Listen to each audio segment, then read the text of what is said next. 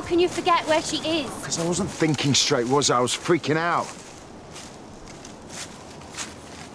I think it was this tree. Or maybe it was that one.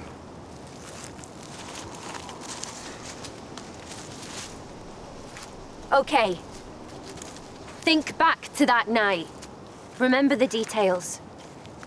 The trauma won't have wiped the memories, just buried them. It's all in there. Focus on the specifics. When you drove her out here, where was she? In the boot, the back seat?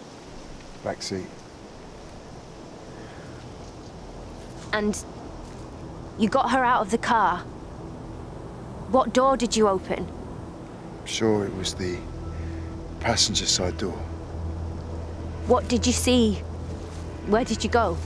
It was definitely this way, because my legs were shaking and I felt sick, but I, I carried her. Off the path, through the trees. I don't like this. She's out of her depth. I remember her hair.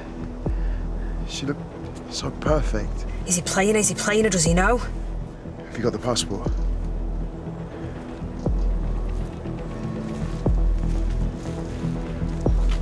Is it here? Is this where you buried her? There. There, look. Where? No! No! That's it. Go, go, go! Give me the passport. and the phone. The phone! Keys? Get up! All right, I thought we had a deal. We do! Yeah?